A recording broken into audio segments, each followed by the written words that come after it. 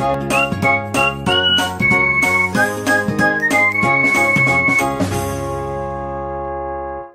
everyone, welcome back to my YouTube channel Trouble Free. In today's video, I am going to explain you about the issues in decision tree learning algorithm. So when we are learning decision tree algorithm, what are the issues that we are going to face? Simply we can say the limitations or the disadvantages also.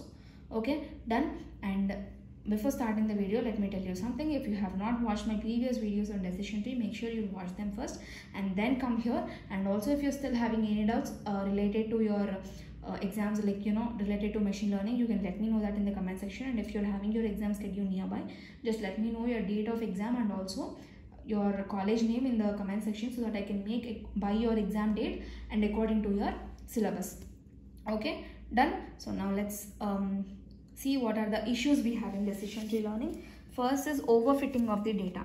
Overfitting of the data means uh, to make it more simpler for you. If you are depending too much on the training data obviously we are depending too much on the training data right? Based on the training data only we are calculating the information gain we are calculating the entropy we are calculating the you know the overall gain and based on that only we are constructing the decision tree. So we are completely relying on the training examples right? So if you are depending too much on training examples then what will happen is that does nothing but the situation overfitting will happen. So what do you mean by overfitting? Overfitting means uh, to say it simply it will work good for training data okay but for testing data it will not work good okay? So when you are training for when you are applying it for training data when you are checking it over training data it will work good. But when coming to the case of testing data it will not work good okay? And next the second, the second issue is incorporating continuous valued attributes. As i said in the appropriate problems for decision trees there i said you need to take discrete values right? So it cannot accommodate for continuous values. So if it is in case of if you want to accommodate continuous values then what you have to do you need to first convert this continuous values into discrete values okay? You need to first convert this continuous values into discrete values and then you need to apply this okay? So that is again it becomes a lengthier process right? So as it cannot incorporate for continuous valued attributes directly so it is again an issue right? And yeah one more thing i forgot to tell you and how to overcome the problem of this overfitting the data you have two solutions for that. One is reduced error pruning. I'll write it here. Reduced error pruning. P-r-u-n-i-n-g okay? So this is one. Reduced error pruning is one technique. And the second one is post rule pruning. So you have two methods as of now um, i'm not going to explain that in this video just i'm going to give you the list. If you're interested you can learn them. Reduced error pruning is one and number two is post rule pruning. Okay these two are the solutions for overfitting of the data. Done? Now incorporating done right? So third determining the depth of tree for correct classification. We need to do the classification correctly right? So how much depth we need to go? Whether we, we will be getting the correct classification at level 0 or at level 1 or at level 2 or at level 3 at what correct depth we are going to get the classification of data. We are going to get the exact classification of data that you cannot de determine it uh, right at the beginning of the algorithm itself. As you keep on constructing the tree you need to increase the levels. Okay done? So one two three done.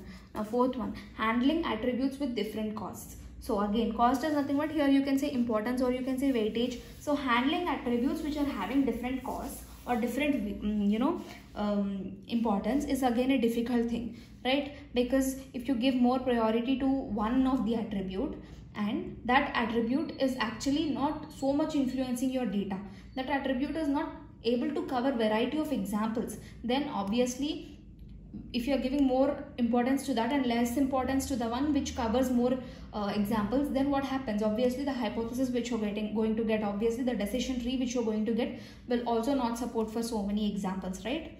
So that. And fifth the last one is alternative measures for selecting attributes. You don't have any alternative measures for selecting the attributes. For example uh, you're calculating the uh, information gain right? You're calculating the information gain you're calculating the entropy you're doing a lot of lot of lot of calculation. You don't have any other alternative apart from doing calculations right? So uh, again here also what you're doing you're giving more importance to the target attribute right? You're considering the information gain of only target attribute right? Which means you're giving more importance to the target attribute. It is again it will under again go under biasing. So these are the issues we have with decision tree learning and in order to uh, you know minimize these issues. In order to reduce these issues we will be definitely getting another algorithm in future in this subject only. Right in the coming further chapters you'll be coming across that algorithm. Okay so these are the issues you have in decision tree learning and with this this video we are done with the all the concepts things related to decision tree. So from the next video we are going to start off with a new topic again. Okay neural networks we are going to start next okay done. So that's all for this video and thanks for watching the video till the end. Make sure that you subscribe to my channel and hit the bell icon if you have not yet done and also share it with your friends. And also if you are able to um, sorry understand what i'm explaining clearly just let me know that in the comment section so that that will be a very very very great and good encouragement for for me. And uh, thanks for watching the video till the end. So let's meet up soon in the next coming video with another topic